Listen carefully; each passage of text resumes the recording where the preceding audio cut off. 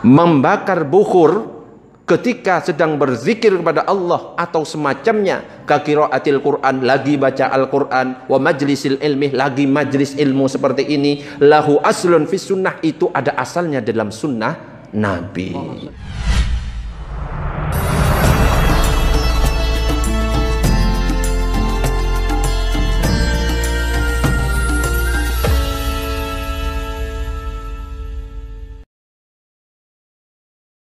Ada yang bertanya, Ustadz, ini yang dibakar ini apa? Ini ngundang roh, jin, dadang apa wis, apa gitu. Wewe gombel, kuntilanak dan lain sebagainya. Nah, ini gunanya kita belajar, ya. gunanya kita belajar itu seperti itu, biar nggak salah faham, ya. Makanya kan dalam Al-Quran tadi sempat saya singgung fas'alu ahlal zikri. In kuntum la ta'lamun. Tanyakan kepada ulama jika kalian tidak tahu apa ini yang dibakar itu namanya apa? Bukhur. Bukhur itu apa bukhur itu? Gunanya untuk me mengharumkan ruangan. Jadi bukhur itu tujuannya adalah untuk mengharumkan ruangan. Dan mengharumkan ruangan itu tidak hanya dengan bukhur. Ya, boleh dengan minyak wangi yang model semprotan, boleh dengan dibakar seperti ini. Kenapa? Ini adalah sunnah-sunnah Nabi yang banyak ditinggalkan, yang banyak dilupakan. Kenapa? Nabi itu senang kepada wangi-wangian.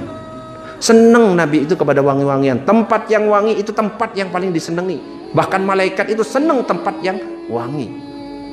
Makanya kalau dalam hadis dikatakan, kalau habis makan bawang jangan mendekati masjid kami Kenapa? Bawang itu bau. Malaikat itu gak mau deket-deket orang yang makan bawang. Bukan haram bawangnya, tapi hukumnya makruh. Kenapa? Baunya gak enak. Makan jengkol, makan pete, itu kan baunya gak enak. Hukumnya makruh.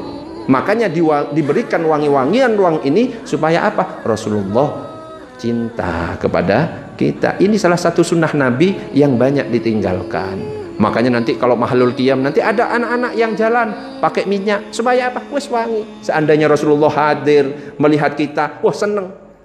Ya, nggak tiba-tiba masuk ternyata di tempat itu baunya ketek semuanya. Buh, keluar gak jadi saudara. Makanya dibuat wangi, itu tujuannya. Dan ini dasarnya ada di dalam kitab Bulghatut Tulab. Mas'alatun, sebuah masalah ikhraqul bukhur inda zikrillahi wa nahwihi. Membakar bukhur ketika sedang berzikir kepada Allah atau semacamnya. Kakiraatil Quran lagi baca Al-Quran. Wa majlisil ilmi lagi majlis ilmu seperti ini. Lahu aslun fis sunnah itu ada asalnya dalam sunnah Nabi.